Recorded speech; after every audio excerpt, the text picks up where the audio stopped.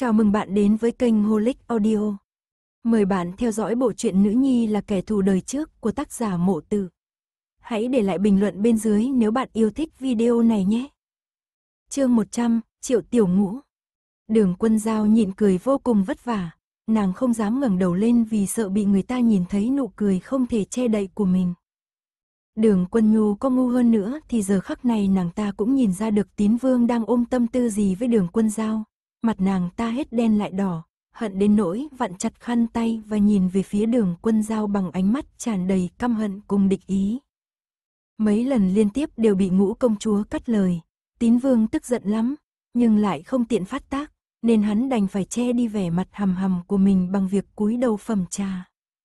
Nhưng ngũ công chúa vẫn không bỏ qua cho hắn, hỏi hắn với khuôn mặt tràn đầy quan tâm. Cơ thể nhị hoàn tàu lúc tốt lúc xấu, Thái y có từng nói tàu ấy bị bệnh gì không? Tín vương giật mình, hắn làm sao mà biết nàng ta bị bệnh gì chứ?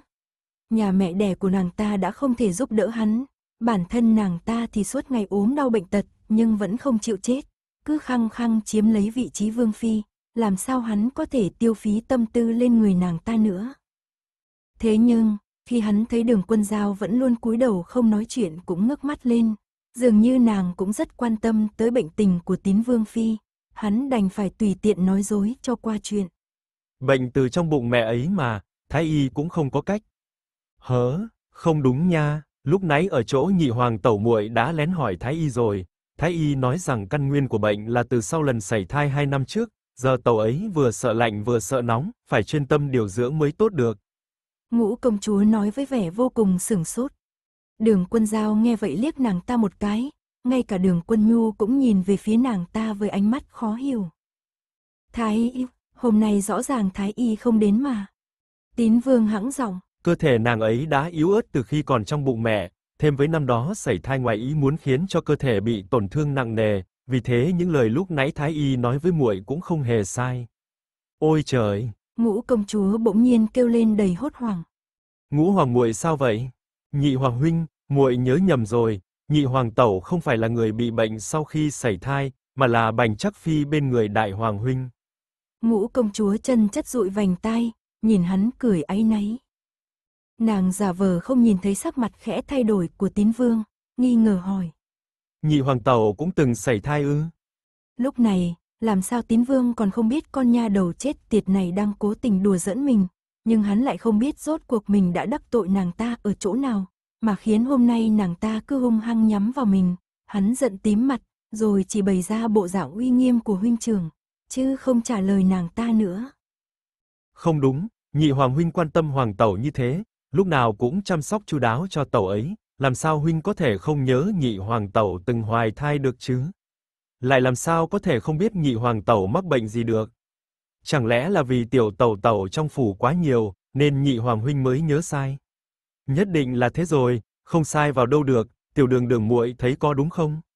Ngũ công chúa nói dài nói dài nói mãi. Đúng thế, chắc chắn là nhớ sai, dẫu sao hàng ngày tín vương điện hạ phải xử lý quá nhiều công việc, người phải chăm sóc nhiều như vậy, làm sao có thể nhớ được hết tất cả. Đường quân giao cười duyên dáng trả lời. Tín vương ngày càng bối rối khi bị hai người các nàng ngươi nói một câu ta đế một câu. Hắn muốn rời đi nhưng lại quyến luyến khuôn mặt tươi đẹp quyến rũ của người trước mặt. Người này tuy mặc y phục màu trắng nhưng không mất đi vẻ xinh đẹp.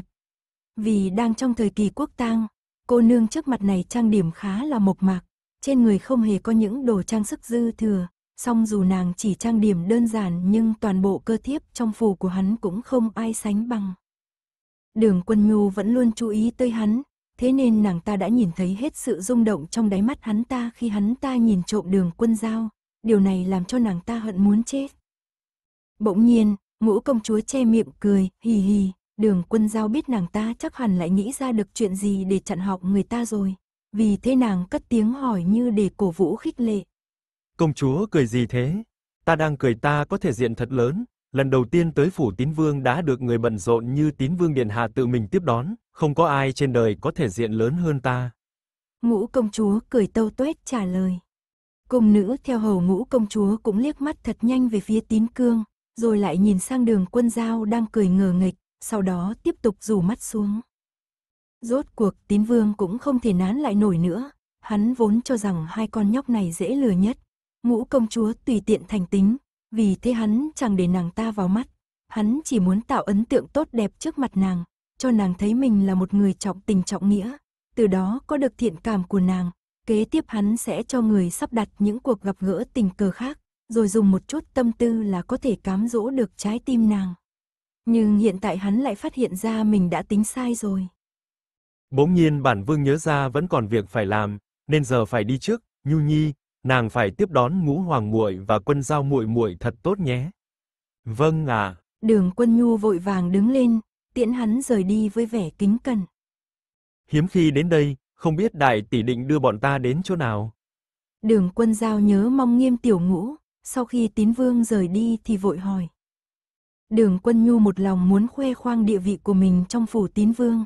Nàng hận không thể đưa các nàng đi khắp phủ để các nàng biết rằng mình mới là nữ chủ nhân chân chính của phủ tín vương. Ngũ công chúa ngồi lâu nên cũng muốn đi lại, nghe nàng hỏi vậy cũng lấy làm thích thú.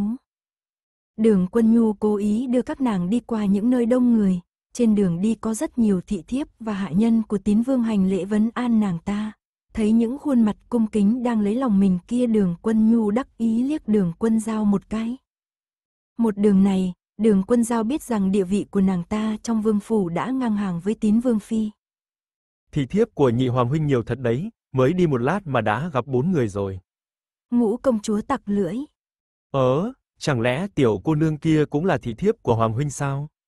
Ngũ công chúa đột nhiên chỉ về phía trước, đường quân giao nhìn theo hướng nàng chỉ thì thấy nửa bên mặt của nghiêm tiểu ngũ ló ra sau hòn non bộ. Nghiêm tiểu ngũ bị người ta bắt ngay tại trận vốn định nhanh chóng co người lại, nhưng lại trông thấy đường quân giao đang nhìn về phía mình, cô bé lập tức nhìn nàng cười lấy lòng. Nàng là con của người nhà thị thiếp tôn thị trong phủ. Đường quân nhu giải thích, đồng thời cũng sầm mặt xuống, khi nàng ta đang định lên tiếng trách mắng nghiêm tiểu ngũ thì lại thấy ngũ công chúa vẫy tay với tiêu cô nương. Này, muội lại đây. Nghiêm tiểu ngũ vui vẻ chạy từ sau hòn non bộ ra, chạy thẳng tới trước mặt nàng ta rồi hỏi. Tỷ tên là gì? To gan, đây là ngũ công chúa đương triều, há có thể. Đường quân nhu đang quở trách thì lại bị ngũ công chúa cắt ngang. Không sao, muội tên là gì? Tiểu cô nương lén nhìn khuôn mặt tươi cười của đường. Quân giao, sau đó mới trả lời. Muội tên là Nghiêm Tiểu Ngũ. Ngũ công chúa vui sướng. Thật khéo, ta tên là Triệu Tiểu Ngũ. Ồ, thật hả, khéo quá đi. Đôi mắt đen tròn của Nghiêm Tiểu Ngũ mở lớn, vẻ mặt nhìn trông vô cùng sừng sốt. Đúng thế, vô cùng khéo, sao trên đời lại có chuyện khéo như vậy chứ? Ngũ công chúa cười híp mắt với nàng. Thế trước tỷ còn có bốn ca ca sao? Nghiêm tiểu ngũ hỏi. Đúng thế, đúng thế, trước ta còn có bốn ca ca nữa. Ngũ công chúa bịa chuyện quen mồm, hớn hở trả lời. Đường quân giao nhìn cười liếc nàng ta một cái.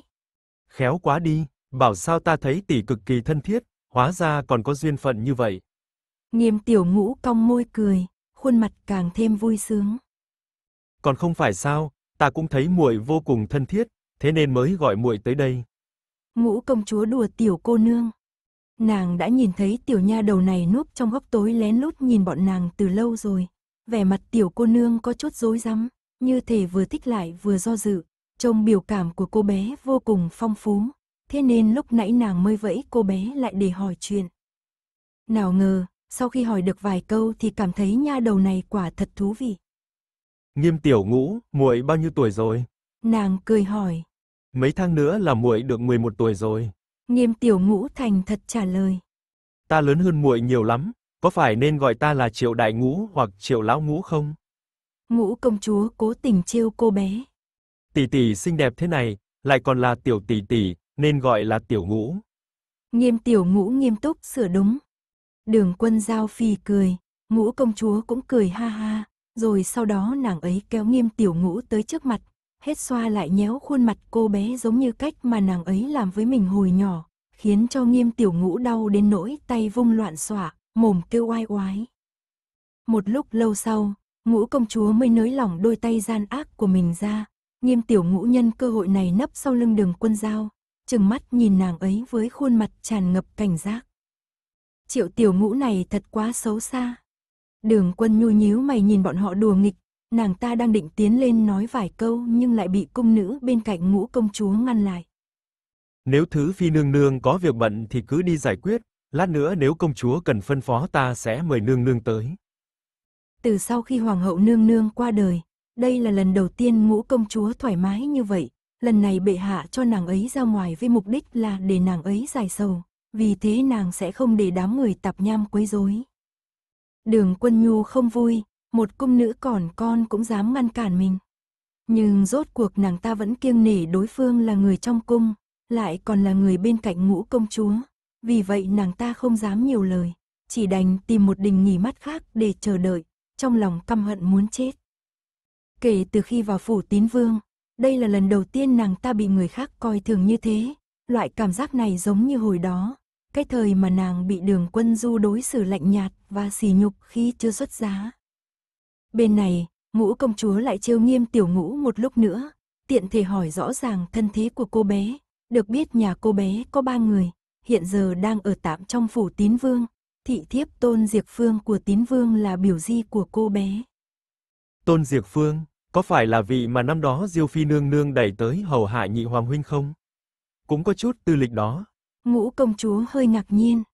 Đường quân giao cũng không ngờ biểu di của nghiêm tiểu ngũ lại là người từng làm việc trong cung. Nghiêm tiểu ngũ ngồi sát đường quân giao, sự phòng bị đối với ngũ công chúa đã dần tan biến sau mấy phen nô đùa với nàng ấy. Ngũ công chúa lại trêu cô bé. Nghiêm tiểu ngũ, hay là sau này muội đi theo ta đi? Trong cung to hơn phủ tín vương nhiều lắm, cũng thú vị hơn ở đây nhiều. Không muốn. Nghiêm tiểu ngũ chưa nghĩ đã từ chối luôn. muội muốn đi theo cha nương thôi. Còn cả giao giao nữa. Nàng thầm bổ sung thêm một câu ở.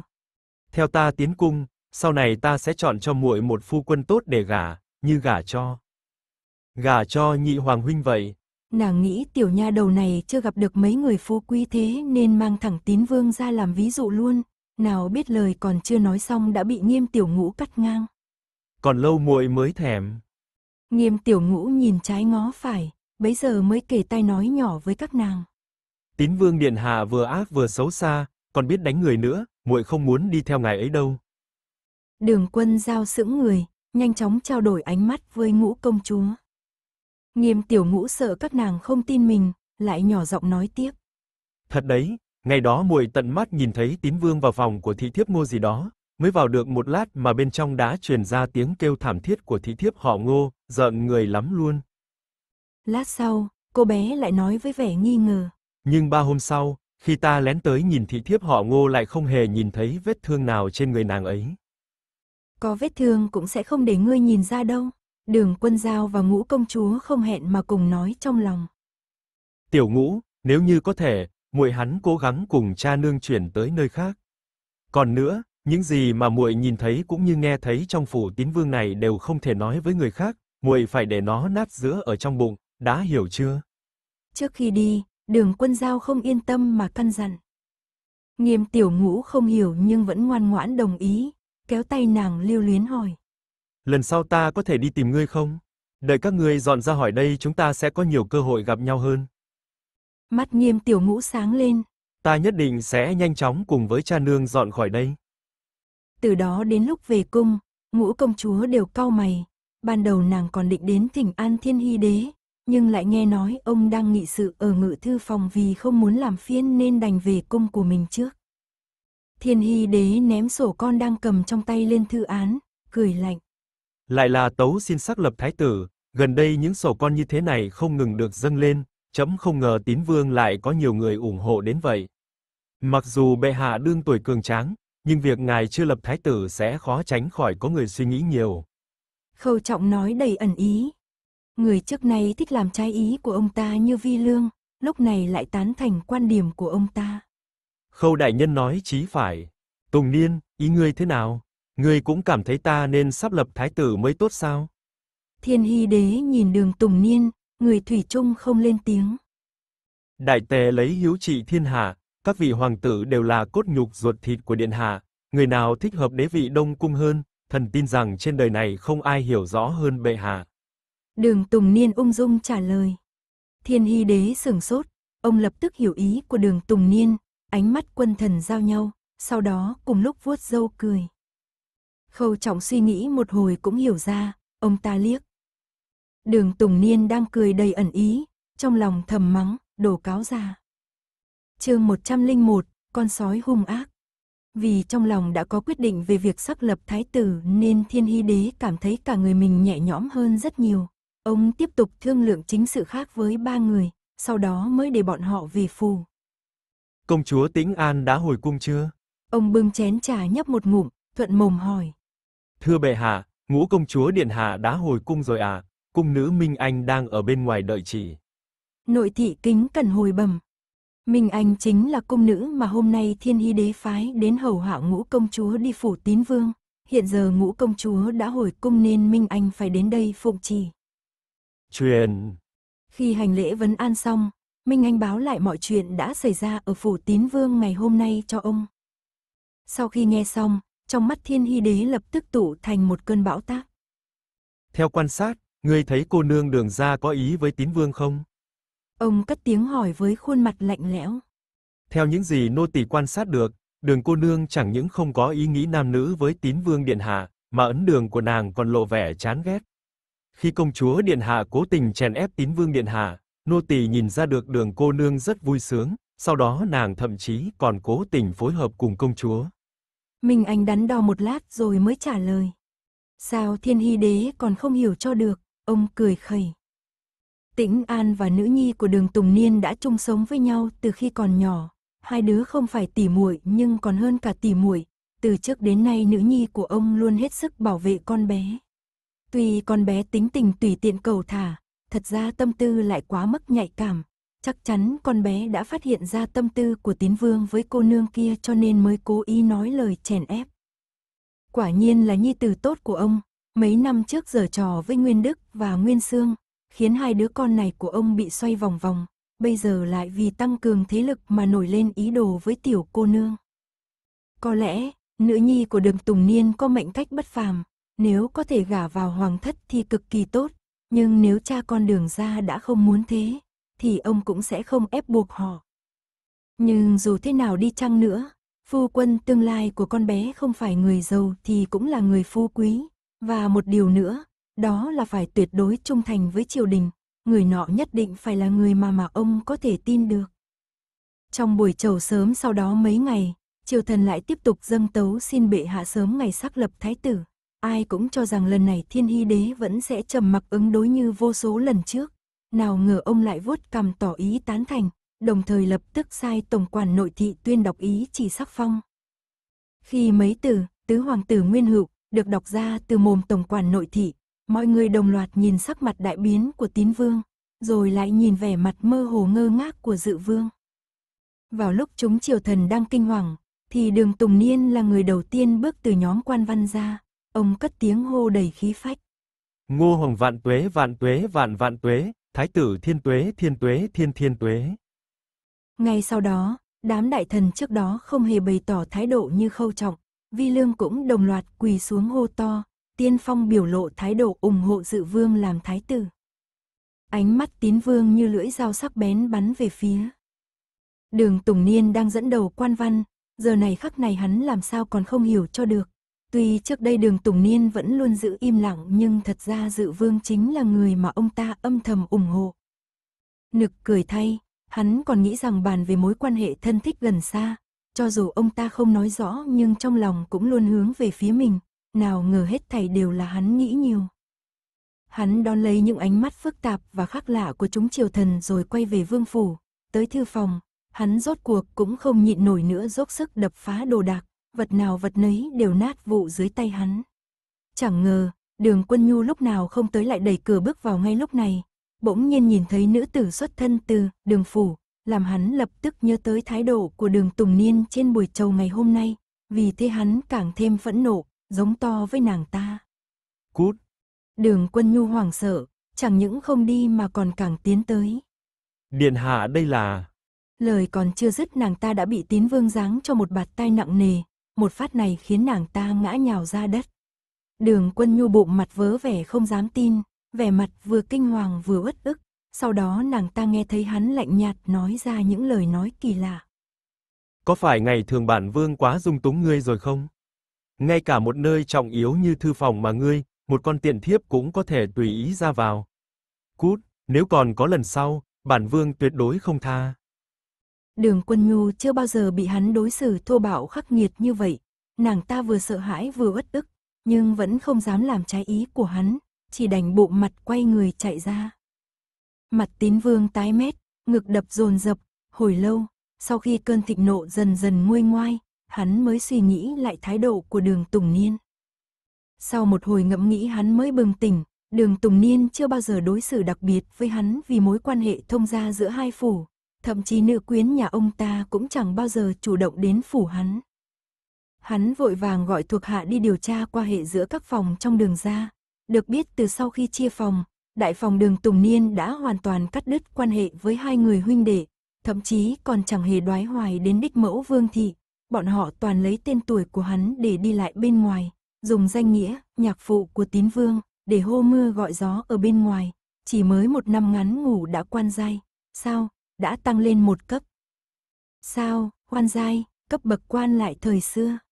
Tức cười thay, hắn còn tưởng rằng loại người tồi tệ ngu đần như đường Bách Niên có thể thăng chức nhanh đến vậy là nhờ vào mối quan hệ của đường Tùng Niên, nào ngờ mình mới là cờ hiệu của ông ta.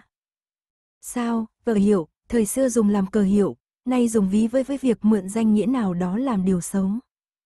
Hắn tức quá hóa cười, cũng ngộ ra rằng mình đã bị cả nhà đường Bách Niên lừa cho một vố. Vô duyên vô cớ bị tín vương đánh chửi, đường quân nhu vừa thẹn vừa tức lại còn bất ức. Phải biết rằng từ lúc vào phủ tới nay đây là lần đầu tiên nàng bị tín vương đối xử thô bạo như vậy, với cả nàng cũng chẳng biết mình đã làm sai cái gì. Vốn dĩ nàng còn tưởng lần này mình đã chọc giận điện hạ, có khi sẽ phải thất sủng từ nay, nào ngờ đêm hôm đó tín vương lại đến phòng của nàng. Nàng vừa mừng vừa sợ, đang định khoe ra dáng vẻ quyến rũ thướt tha nhất để nghênh đón tín vương, thì hắn đã xài bước đến bế ngang nàng lên. Nàng sợ hãi kêu lên, trong lòng càng thêm đắc ý. Điện, hả? Ngay sau đó, tín vương bổ nhào vào nàng như lang như hổ, hắn hùng hãn xé rách y phục của nàng, không đợi nàng phản ứng đã giáng cho nàng một cái tát thật mạnh, phát đánh đó khiến cho đầu óc của nàng choáng vang ong ong. Từ sau khi tín vương vào, thị nữ hầu hạ nàng bèn tinh ý mà đóng cửa lại rồi rời đi, đứng ở đằng xa chờ đợi, khi trong phòng bỗng nhiên truyền ra tiếng kêu thảm thiết của nữ tử, nàng ta sợ đến nỗi run cầm cập. Nàng ta vốn tưởng rằng thứ phi nhất thời không chịu nổi điện hạ mới thất thố như vậy, nào ngờ ngay sau đó từng tiếng kêu gào thảm thiết không ngừng truyền đến tai nàng ta, lắng tai nghe kỹ, thậm chí nàng ta còn có thể nghe thấy tiếng chửi rủa như đang kiềm nén, như đang hưng phấn của nam tử. Sắc mặt nàng ta hoàn toàn thay đổi sau khi nhớ đến những lời đồn đại mà mình đã nghe được. Âm thanh trong phòng duy trì đến tận lúc nửa đêm, nàng cuối cùng cũng nghe thấy tiếng tín vương gọi nước.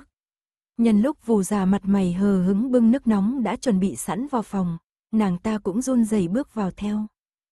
Khi nhìn thấy trạng thái thê thảm của đường quân giao ở trên giường, hai chân của nàng ta nhũn ra, cuối cùng không chống đỡ nổi mà ngã bệt xuống đất. Ma quỷ, súc sinh, cầm thú, hắn không phải người, hắn không phải người. Nàng ta nghe thấy tiếng thì thào đầy khủng hoảng của chủ tử.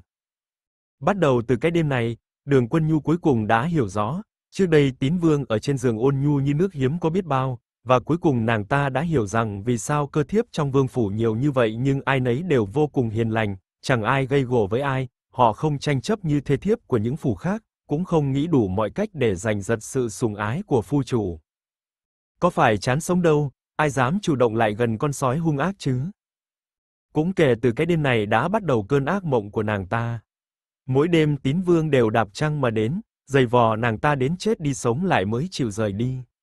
Lúc đầu nàng ta còn sợ hãi nhưng sau dần chỉ còn lại tuyệt vọng, và thống hận đến tột cùng. Nàng ta căm thù ông trời bất công, căm thù tất cả những điều đẹp đẽ trên đời, và đặc biệt căm thù những người sống tốt hơn nàng ta. Tin thiên hy đế xác lập dự vương triệu nguyên hữu làm thái tử đã truyền đến tai đường quân giao, lúc đó nàng đang nhìn đường hoài miễn thu dọn đồ đạc để chuẩn bị quay về tham gia cuộc thi đình sắp tới. Dự vương quả nhiên vẫn là người này, cũng chỉ có thể là người này. Đời trước, Dự Vương được xác lập làm thái tử vì lòng hiếu thảo, và đời này cũng là như vậy. Đáng thương cho tín vương bôn ba bao nhiêu lâu, chiêu nạp được biết bao người ủng hộ, ngờ đâu người luôn im lặng chịu tang cho tiên hoàng hậu như dự vương lại bất ngờ xuất hiện, chỉ với một hành động đã giành được vị trí thái tử, làm cho mọi mưu tính của hắn trở thành công cốc. Nàng cười nham hiểm, tín vương chạy trọt khắp nơi, dùng hết tâm tư vì chữ, hiền, nào ngờ kết cục lại bại bởi một chữ, hiếu. Dự vương tư chất bình thường, không hề có chỗ hơn người, ưu điểm lớn nhất của hắn là hiếu thuận. Đường hoài miễn thu dọn xong bọc hành lý thì đi tới cạnh nàng với vẻ mặt muốn nói lai thôi. Nàng cười, tam ca có chuyện gì cứ nói. Đường hoài miễn mím chặt môi, sau cùng vẫn nhụt chí nói. Không có chuyện gì cả, muội ở nhà phải nghe lời tam thúc tam thẩm và châu ca đấy, đừng có mà chạy loạn để rồi rước họa vào thân. Đường quân giao tức giận nói. Muội chạy loạn rồi rước họa lúc nào chứ? Đường hoài miễn cũng không thèm tranh cãi với nàng, hắn chỉ, à ừ, qua loa hai tiếng rồi cất bước rời đi, đi được một đoạn thì dừng bước quay người, lại lần nữa nhìn nàng với vẻ mặt muốn nói lại thôi. Sau một hồi suy nghĩ thì đường quân giao đã hiểu ra, nàng đi tới cạnh hắn và khẽ nói. Huy yên tâm, gần đây bệ hạ không hề chọn phò mã cho ngũ công chúa. Mắt đường hoài miễn lập tức sáng lên, nhưng lại nhanh chóng khép miệng giả vờ ho một tiếng, tỏ vẻ không thèm để ý. Sau khi chắp tay với nàng, hắn khoác bọc hành lý lên vai một cách thoải mái tự nhiên, sau cùng ung dung sải bước đi xa dần. Vào chấp tối ngày hôm đó, bầu trời đột nhiên ảm đạm và u ám, chẳng mấy chốc gió lớn đã nổi lên, nó điên cuồng gào thét, ngay sau đó mưa lớn chút xuống xối xả. May mà hôm nay công việc của đường Tùng Niên không nhiều nên ông đã quay về phủ từ sớm, còn đường Hoài Châu cũng không ra ngoài, hiếm khi ở trong nhà tán dóc chọc cười Vương Thị và Nguyễn Thị. Đường quân giao ngồi bên cạnh Vương Thị, nghe đường Hoài Châu kể câu chuyện bịa đặt sống động như thật để dỗ dành Vương Thị, trên khuôn mặt nàng xuất hiện một nụ cười duyên dáng. Đường Tùng Niên đang phẩm trà, thỉnh thoảng ông sẽ ngước mắt nhìn cậu con trai miệng lưới trơn tru của mình, rồi lại nhìn sang cô con gái với đôi mắt tỏa sáng lấp lánh, ông chỉ đành lắc đầu đầy bất lực. Ông thu hồi ánh mắt, và nhìn về phía Nguyễn Thị đang giúp ông châm trà, khi thấy bà đặt ấm trà xuống, ông nhanh chóng kéo lấy tay của bà, bàn tay của ông bao lấy bàn tay nhỏ nhắn mềm mại của Nguyễn Thị và giấu chúng xuống gầm bàn, bàn tay còn lại điềm nhiên nâng chén trà lên nhấp vài ngụm như thể không có chuyện gì xảy ra. Nguyễn Thị không thể vùng khỏi tay của ông, chỉ liếc ông bằng ánh mắt của trách, nhưng rồi cũng để mặc ông. Hiền mẫu kiều thê, ái tử ái nữ đều ở bên cạnh, đường Tùng Niên cảm thấy những mệt mỏi sau một ngày làm việc mệt mỏi đều tan biến hết cả, tiếng mưa ngoài phòng truyền vào tai ông, ông cũng cảm thấy nó giống như âm thanh của thiên nhiên. Vãn cầm trần trừ một lúc, nhưng vẫn không thể không tiến vào, phá vỡ sự ấm áp khó có được này. Cô nương, ngoài cửa có một tiểu cô nương tên là Nghiêm Tiểu Ngũ muốn gặp người. Đường quân giao ngây người, ánh mắt của đám người đường Tùng Niên đồng loạt nhìn về phía nàng. Vãn cầm sợ chủ tử trách mình lỗ mãng nên vội vàng giải thích. Tiểu cô nương trông khoảng 10 tuổi, cả người ướt như chuột lột, dường như cô bé đã phải chịu hoàng sợ gì đó. Từ bá trong cửa thấy cô bé thật sự quá đáng thương cho nên mới sai người đến đây bẩm báo một tiếng. Nếu cô nương không quen cô bé, đó là tiểu ngũ mà chúng ta đã gặp ở quán trà ngày ấy, nô tỳ đi xem rồi, chính là cô bé ấy. Làm thuần thở hồn hền chạy vào. Nhanh đưa cô bé vào đây. Đường quân giao giật nảy cả người. Nửa đêm nửa hôm trời lại còn mưa to như chút, tiểu ngũ không ngoan ngoãn ở trong nhà mà đột nhiên chạy đến đây tìm mình làm gì? Chẳng lẽ đã xảy ra chuyện gì rồi sao? chương 102, kẻ chết thay. Đường Tùng Niên cau đôi mày rậm, nhìn tiểu cô nương được đưa vào nhà. Cả người cô bé ướt sũng như thể vừa được vớt từ trong nước ra, cơ thể run rẩy như chiếc lá trước gió. Cô bé vừa vào cửa đã nhào về phía nữ nhi của mình, tay ôm chặt lấy eo con bé, run lập cập gọi. Giao giao. Đường quân giao cảm nhận được cơ thể nhỏ bé đang ôm lấy nàng run lên dữ dội, cảm giác lạnh lẽo trên bộ quần áo ướt sũng của tiểu cô nương truyền đến người nàng. Chỉ khi chạm vào chán cô bé, nàng mới biết nơi này đang nóng như lửa đốt. Người sốt rồi. Nàng hoảng sợ. Bảo nha, con mau đưa con bé vào phòng thay quần áo sạch đi, Lam Thuần cho người đi chuẩn bị nước nóng và canh gừng, vãn cầm đi mời đại phu, chớ có chỉ hoãn, đi nhanh. Nguyễn Thị lập tức phân phó. Thật tội nghiệp, đây là con cái nhà ai, phải nhanh chóng thông báo cho cha nương của tiểu cô nương, đừng để người nhà con bé lo lắng. Vương Thị thương hại nói. Đường quân giao nửa ôm nửa đỡ nghiêm tiểu ngũ về phòng của mình, dỗ cô bé đi tắm rửa thay quần áo, nhưng nghiêm tiểu ngũ lại run rẩy ôm chặt lấy nàng, nói bằng giọng run run. Giao giao, giao giao, ta sợ, ta sợ.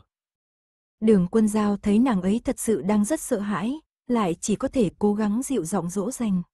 Đừng sợ, ta ở đây mà. Giờ ngươi phải đi tắm rửa rồi thay quần áo sạch, rồi lát nữa chúng ta nói tiếp được không? Nhưng nghiêm tiểu ngũ dường như không nghe thấy lời nàng nói, cô bé vẫn tiếp tục run rẩy nói. Chết rồi, chết rồi, giao giao, hắn ta chết rồi, chết rồi. Đường quân giao vô cũng bất ngờ, vội hỏi. Ai chết rồi? Tín vương, tín vương chết rồi, ta đã nhìn thấy, muội muội của thứ phi nương nương đã đập chết hắn, chảy rất nhiều máu, rất nhiều. Máu. Đường quân giao cực kỳ hoảng sợ. Tín vương bị đường quân du giết chết ư, chuyện này là như thế nào? Đang yên đang lành sao lại kéo theo đường quân du vào? Nàng nghĩ mãi không ra, nhưng khi thấy nghiêm tiểu ngũ run lên bần bật, nước trên người chảy tòng tọc xuống đất, nhiệt độ trên trán càng lúc càng cao, không dám chỉ hoãn thêm nữa, nàng cất giọng gọi Lam Thuần vào, hai người hợp sức đưa nàng ấy đi tắm gội rồi thay quần áo. Đợi nghiêm tiểu ngũ sạch sẽ khoan khoái ngồi trong phòng, cô bé lại bị nàng dỗ uống hết chỗ canh gừng mà vãn cầm đưa tới, làm đâu ra đấy cuối cùng nàng mới vội vã hỏi. A ngôn, lúc nãy ngươi nói tín vương chết là sao? Nghiêm tiểu ngũ run lên một cái, bát gốm trong tay rơi xuống đất choang, một tiếng, lại, vèo, một tiếng cả người chui tọt vào lòng nàng, và không ngừng run rẩy. Đường quân giao cố gắng để nàng ấy thả lòng một chút, sau đó mới nghe nàng ấy run rẩy kể lại đầu đuôi mọi chuyện. Hóa ra, đêm qua nghiêm tiểu ngũ bị lạnh nên hôm nay lúc tỉnh lại nàng đã cảm thấy cơ thể không khỏe. Chớ trêu thay hôm nay cũng là ngày phu thê nghiêm vĩnh nghiệp đi ký văn khế để thuê ngôi nhà nhỏ mà bọn họ đã nhìn chúng. Phu thê hai người không yên tâm để nữ nhi đang bị bệnh ở nhà một mình, vì thế hai người đưa nàng đến phòng của tôn thị, tiện thể nhờ tôn thị chăm sóc. Sau khi nghiêm tiểu ngũ ăn xong bữa trưa thì uống thuốc, rồi lại ngủ một giấc trong phòng của tôn thị. Khi nàng mơ màng thức dậy nhưng không thấy tôn thị đâu bèn đứng dậy đi tìm.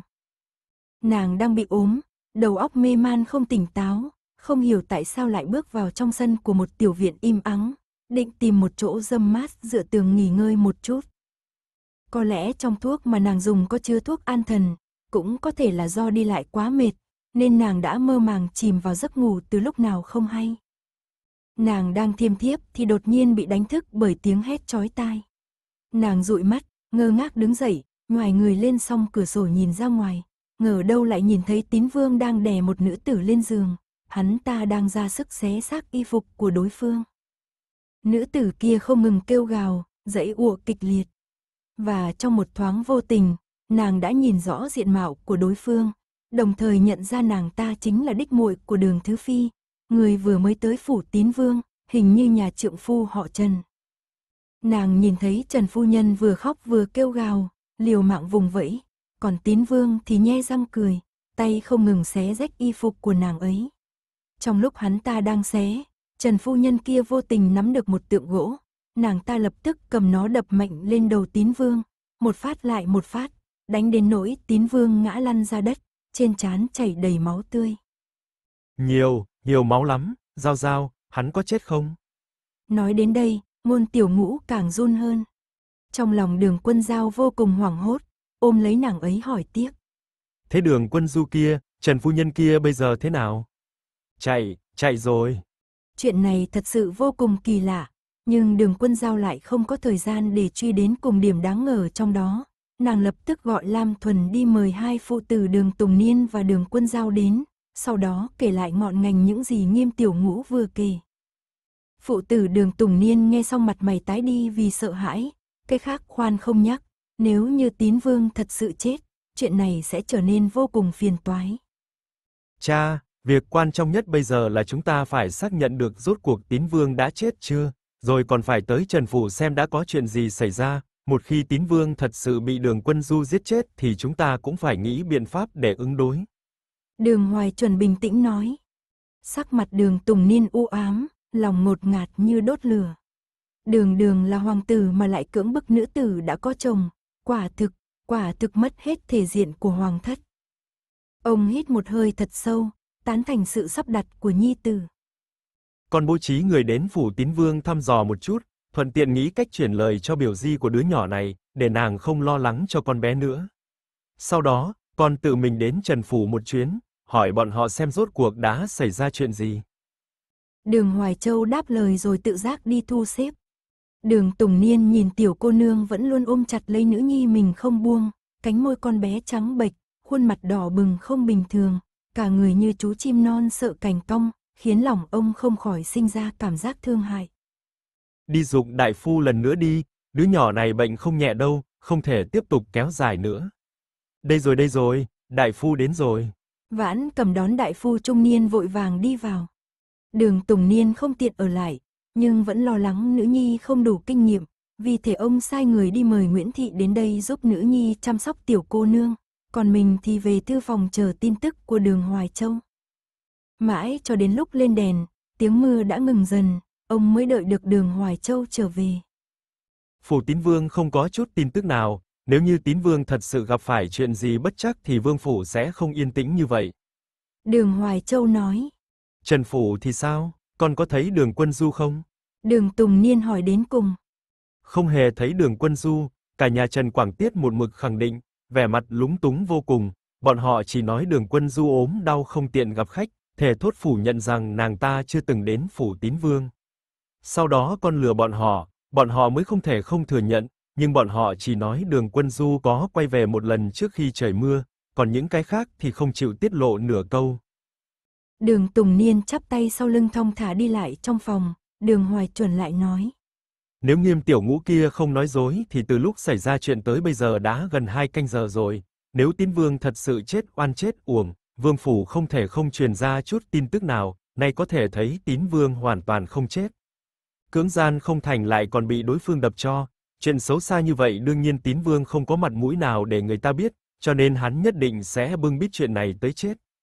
Cha, con cảm thấy chuyện này có điểm kỳ lạ, có lẽ đường quân du được đường quân nhu mời đến phủ, theo như miêu tả của nghiêm tiểu ngũ, nàng ta không hề nguyện ý ủy thân cho tín vương, nhưng vì sao nàng ta lại đơn độc xuất hiện trong một gian phòng không người, khiến cho tín vương suýt nữa đắc thủ. Nếu tín vương đã mưu tính chuyện này từ trước thì hắn nhất định sẽ sai người coi giữ trước cổng tiểu viện, nếu vậy thì nghiêm tiểu ngũ không thể đi nhầm vào nơi ấy được và đường quân du càng không thể chạy thoát sau khi đập hắn ta bị thương. Chuyện này xác thực có chút kỳ lạ. Đường Tùng Niên trao mày đôi mày rậm. Những chuyện đường Hoài Châu thăm dò được thì đương nhiên đường quân giao cũng biết. Nàng không giống cha con đường Tùng Niên, vì ngay từ đầu nàng đã nghĩ rằng liệu đây có phải là mưu kế của đường quân nhu hay không. Ngày đến phủ tín vương đó, nàng đương nhiên cũng phát hiện ra ánh mắt tín vương nhìn nàng cất giấu đầy ý xấu. Kể cả ánh mắt ghen ghét của đường quân nhu cũng không thể qua được mắt nàng. Lại thêm những lời hôm đó nghiêm tiểu ngũ nói, nó khiến nàng nhớ đến những lời đồn đại mơ hồ ở đời trước rằng tín vương có đam mê gì đó với chuyện giường chiếu. Nàng nghĩ rằng, ở đời trước có lẽ tương vương là người chịu tội thay, người có đam mê quái gở thật sự không phải là hắn, mà chính là tín vương. Chỉ có điều, bởi vì đời này tương vương đã rời kinh từ sớm, tránh khỏi những tranh chấp trốn kinh thành, vì thế kẻ có giáp tâm hãm hại mới không thể đổ tội danh này lên đầu hắn được. Chuyện ngày hôm nay có thể diễn giải thế này, trước đó đường quân. Dù không đề phòng nên bị đường quân nhu đánh thuốc mê, sau đó đường quân nhu sai người hầu đi hết rồi nàng ta lại tín vương xông vào phòng. Tiếp theo nàng ta bỏ thêm thuốc trợ hứng nào đó vào trong phòng. Tín vương bị kích thích đương nhiên sẽ không buông tha cho nữ tử đang gần trong tầm tay. Chẳng qua nàng ta lại không ngờ rằng đường quân du sẽ tỉnh lại sớm như vậy, càng không ngờ rằng trong lúc tín vương đang xé xác đường quân du, nàng ta lại dám đánh hắn bị thương rồi trốn thoát. Nếu là như vậy thì tất cả mọi vấn đề đều được giải thích rõ ràng. Nàng cười lạnh, mặc dù nàng khá là không thích đường quân du, cũng mong nàng ta không được sống tốt, thậm chí nếu nàng ta còn dám liều lĩnh gây hấn với mình, nàng cũng không ngại tự tay đẩy nàng ta xuống bùn, khiến nàng ta nếm trải mùi vị đắc tội mình một cách chân chính. Nhưng trong số hàng ngàn thủ đoạn của nàng, tuyệt đối không có việc để nàng ta bị người khác trà đạp thân thể. Nàng tự biết mình chẳng phải người có lòng chắc ẩn gì, đồng thời nàng cũng không phải là một nữ tử coi trọng trinh tiết như mạng sống. Thậm chí, đời trước nàng còn học rất nhiều mánh khóe giường chiếu từ Phương Nghi, cũng lợi dụng mánh khóe này để củng cố vị trí của mình ở hậu cung. Nữ tử sống ở đời đã không dễ dàng gì, nàng không cảm thấy dùng sắc để hầu hạ người có gì sai, có gì mà thấp kém. Khi vẫn còn, sắc, làm vốn thì tranh thủ sống cho chính mình, củng cố thực lực của bản thân, đến khi hoa tàn ít bướm cũng không bị người ta tùy tiện coi thường. Dẫu có là nữ tử phong trần, phận mua vui bán sắc, nhưng nếu không phải bản thân các nàng cho phép, dù đối phương có thân thận cao quý cỡ nào cũng không thể cưỡng bức được các nàng.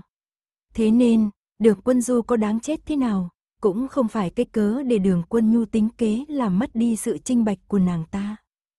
Nhưng cho dù phụ tử đường Tùng Niên có nghĩ thế nào thì họ cũng sẽ không nghĩ rằng tất cả mọi chuyện đều là gian kế của đường quân nhu. Sau khi tín vương xé rách lớp ngụy trang dịu dàng kia, mỗi đêm đường quân nhu đều sống không bằng chết. Lâu dần, vì để bản thân sống tốt hơn một chút, nàng ta bắt đầu học cách đón ý hùa theo tín vương. Lúc đầu thật sự có khá hơn một chút, nhưng chưa đến nửa tháng tín vương đã nghĩ ra được đủ loại trò khác, giày vò nàng ta đến mức suýt nữa mất mạng. Nàng cảm thấy mình sắp phát điên rồi, ban ngày nàng là một thứ phi nương nương vô cùng vẻ vang, khi màn đêm buông xuống thì nàng chẳng khác gì một nữ tử trốn thanh lâu. Vì để mình sống tốt hơn một chút, nàng bắt đầu tìm kiếm kẻ chết thay, bắt đầu từ những tỷ nữ hầu hạ bên cạnh mình, lần lượt từng người đều bị nàng đẩy ra. Dù sao, ngày thường mấy con tiện tỳ này cũng có ý đồ quyến rũ điện hạ, bây giờ nàng sẽ cho các nàng được như nguyện, tặng cho các nàng một sự giàu sang. Nàng chưa bao giờ nghĩ tới việc đưa đường quân du vào chồng, nhưng khi thấy sắc mặt hồng nhuận mơn mờn cùng đôi mắt đong đầy hạnh phúc của nàng ta, nàng biết rằng sau khi thành hôn kẻ vô tích sự, công tử bột Trần Triệu Dũng kia đã đối xử với nàng ta không tệ, và cuộc sống của nàng ta ở Trần Phủ cũng tương đối thoải mái thư thái, vì thế nàng đã không thể dập được sự căm hận trong khoảnh khắc đó của mình. Nàng căm thù tất cả những người sống tốt hơn nàng, nhất là căm thù nhà họ đường. Đường quân giao tốt số, có một người cha làm thừa tướng, nàng không thể làm gì được nàng ta, nhưng tại sao đến cả đường quân du cũng sống tốt hơn nàng? Như vậy không công bằng, ông trời thật sự bất công quá. Nàng đã không sống tốt, thì cũng sẽ không để các nàng được sống tốt. Sao sao, góc nhìn của ngôn vũ. Phần này đến đây là hết. Mời các bạn theo dõi tiếp các video khác trên kênh. Nếu các bạn yêu thích kênh, hãy nhấn theo dõi nhé. Cảm ơn các bạn.